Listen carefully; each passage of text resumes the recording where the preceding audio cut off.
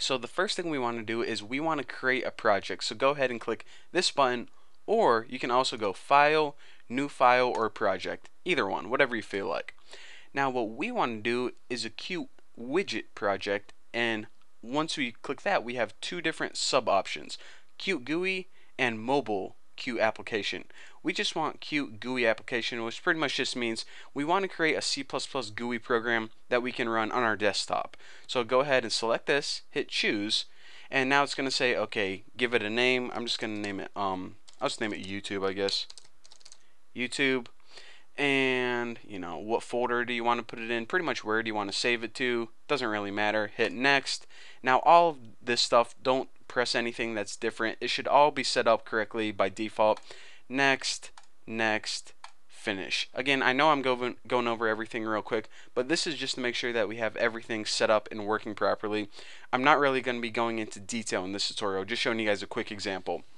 But anyways, now that we created a new project and gave it a name, what we want to do now is I want to show you guys how to look at the design or the GUI interface because this is a really awesome program.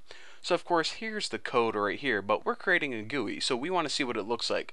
Well actually if you expand all of these folders right here you can see all of the files that belong to your uh, project. Of course, we got our C++ files .cpp, but what we're interested in interested in is this main window.ui. So go ahead and double click that and we can see that we have a GUI right here or at least the beginning of one. So just so we can you know learn how to add some simple stuff on this GUI right now let's go ahead and scroll down and look for I don't know I'll just make something like a push button that changes some text on the screen. So this push button right here, go ahead and drag it out and plop it into your GUI. So now we have a push button that says push button. Pretty cool. That's how simple it is. We didn't even have to program anything yet. This is all taken care of behind the scenes by Qt. Now let's go ahead and grab a label and let's see. This label right here looks pretty good. So go ahead and grab this label, drag it out and put it right next to the button looks pretty good. So now what I want to do is, again, I know that I'm moving really fast, but I just want to, you know, show you guys a real simple program to show you guys that this does indeed work and I'm not just, you know, BSing you. So go ahead and select your button and right click it and press go to slot. Now, again, I know you guys don't know what go to slot means, but I'll explain all this in depth later. Highlight click and select OK.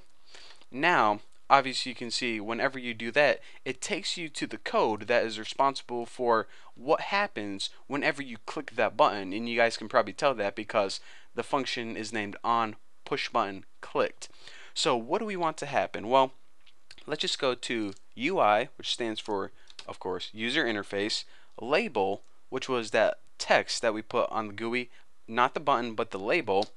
And what do we want to do to this label? Well we just want to call a function called set text, which of course changes the text on the button, and we will just change this to ouch. So again, one last time, I want to repeat, I know you guys don't know probably what all of these, you know, um, functions mean, what all of, you know, this uh, different objects and, you know, all this stuff, but I'll explain it all later. What we're interested in now in doing is just running this project. So go ahead to this little triangle right here and press run, and once we do that, it's going to go ahead and build the project, which pretty much set everything up.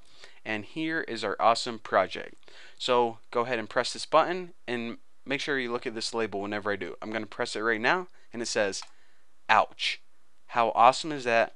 Our very first GUI application with Qt. So there you go. There is a very simple Qt application. In the next tutorials, what I'm going to be doing is kind of rewinding, starting back from scratch, and taking you guys through the entire interface, what everything is, what everything does, and I'm going to give you guys a really basic knowledge of the um, developer program before we start getting into the more in-depth stuff. So thank you guys for watching. Don't forget to subscribe. Don't forget to follow me on Twitter, Google Plus, and yeah, all that good stuff. So thank you guys for watching. I'll see you next tutorial.